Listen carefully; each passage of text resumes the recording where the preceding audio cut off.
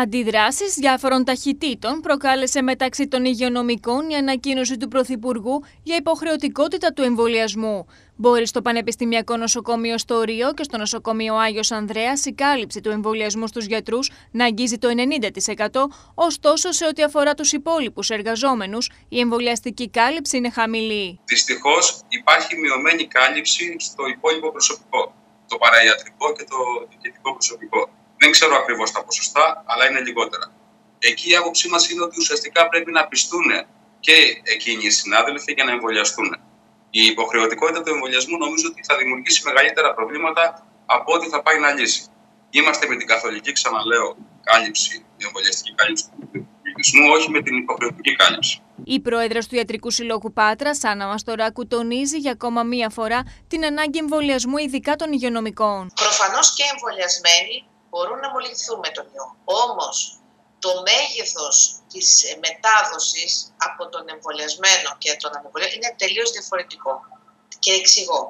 Το οικό φορτίο του ανεμβολίαστου είναι ιδιαίτερα μεγάλο και το παράθυρο μετάδοσης σε σχέση με τον εμβολιασμένο. Ο εμβολιασμένος έχει πολύ μικρότερο παράθυρο μετάδοσης και φυσικά πολύ χαμηλότερο οικό φορτίο.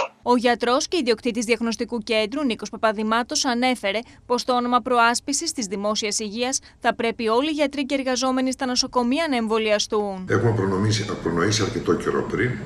Δεν είχαμε πρόβλημα με το προσωπικό. Είναι σχεδόν καθολική, ε, καθολικός εμβολιασμός των, ε, των υπαλλήλων μας ε, και στην Πάτρα και στο Αίγιο με εξαίρεση πολύ λίγα περιστατικά ε, για λόγους καθαρά ιατρικούς, που και αυτά εφόσον δεν συντρέχει λόγος μη εμβολιασμού θα εμβολιαστούν και αυτά και θεωρώ ότι είναι από εκείνα τα θέματα που δεν πρέπει να περιμένει κανείς ούτε απαγορευτικές διατάξεις ούτε ποινές.